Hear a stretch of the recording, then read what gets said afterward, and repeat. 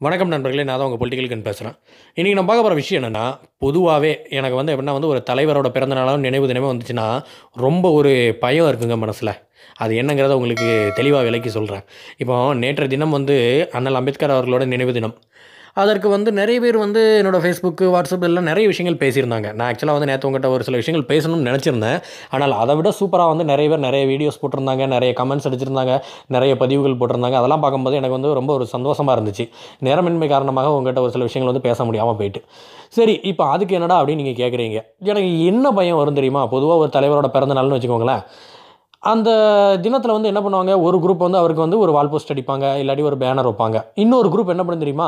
அந்த போஸ்டரை கிழிக்கிறது இல்லாட்டி ஒரு கண்டன போஸ்டர் அடிக்கிறது இந்த மாதிரி ஏதாவது ஒரு பிரச்சனையை கிளப்பி விடுறது இல்லாட்டி இப்போ நவீன காலத்தில் பார்த்துக்கிட்டிங்கன்னா ஃபேஸ்புக் வாட்ஸ்அப்பில் ஏதாவது தவறான பதிவுகளை போடுறது அந்த தலைவரை விமர்சித்து ஏதாவது தேவையில்லாத விஷயங்களை வந்து பேசி ஒரு சில பிரச்சனைகள் உண்டு பண்ணுறது இப்படியே நாங்கள் போய்கிட்டு இருக்கோம். எனக்கு அதனாலேயே வந்து ஏதாவது ஒரு தலைவரோட பிறந்தநாளோ நினைவுனாலும் வந்துச்சுன்னு வச்சுக்கோங்களேன் ஒரு உள்ளுக்குள்ள ஒரு பயம் இருக்கும். ஐயோ இந்த தடவை இப்படி நடந்துருமோ அப்படி நடந்துருமோ இப்படிலாம் நடக்கக்கூடாது.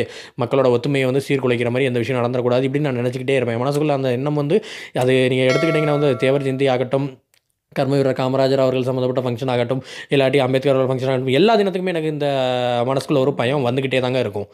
ஆனால் நேற்றைய தினம் நீங்கள் பார்த்தீங்கன்னா என்னோடய ஃபேஸ்புக் ஆகட்டும் வாட்ஸ்அப் ஆகட்டும் எல்லாத்துலேயுமே அதாவது அம்பேத்கர் அவர்களோட ஃபோட்டோவை போட்டு பயங்கரமாக வாழ்த்துக்கள் எல்லாம் சொன்னது அதிகபட்சம் யாருன்னா முக்குளத்தூர் சமுதாயத்தை சார்ந்தவர்கள் தான் சொல்லியிருந்தாங்க.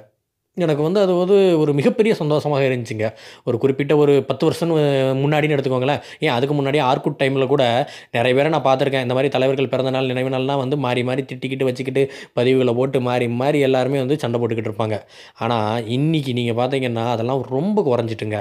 மக்கள் வந்து எல்லாருமே வந்து ஒற்றுமையாக தான் விரும்பி போயிட்டு இருக்காங்க. நிலைமைகள் மாறிக்கிட்டே இருக்குது போன தலைமுறையினர் மாதிரி இந்த தலைமுறையினர் இல்லைங்கிறதுக்கு வந்து இதுவே வந்து மிகப்பெரிய உதாரணம்.